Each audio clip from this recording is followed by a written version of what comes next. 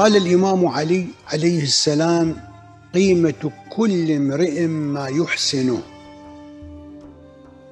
ارزش هر کسی به کارهایی است که آنها را درست انجام می دهد.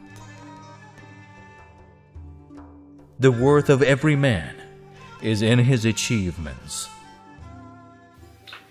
أعوذ بالله من الشيطان الرجيم بسم الله الرحمن الرحيم قال علي بن أبي طالب عليه الصلاة والسلام قيمة كل امرئ ما يحسنه Imam Ali ibn Abi Talib عليه الصلاة والسلام says in Nahj al-Balagha the worth of every man is in his achievements.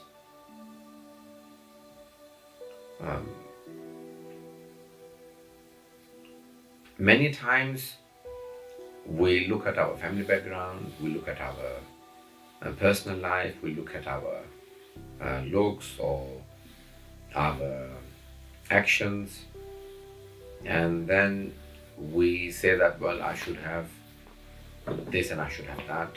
But the Imam says that the worth of every man is in his achievements. So it is not what your background is or who you are as an individual, but it is your achievements, what you achieve in life. And the achievements can be in terms of knowledge, in terms of the services, in terms of the work, in terms of um, uh, the projects you accomplished, in terms of um, the services that you've done to mankind or to the society or to any um, organization. So it is extremely important that you look at the achievements. What have you achieved? And the price of every person is their achievements. The worth of every person is their achievements.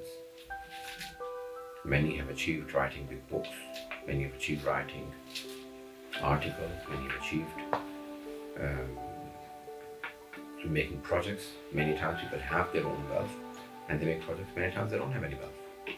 But they go and um, ask the wealthy people to, to donate for a good cause, to contribute towards a, a good project.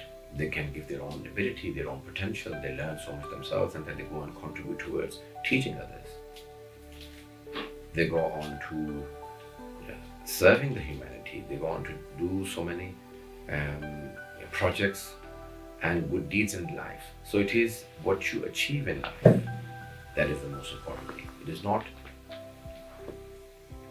um,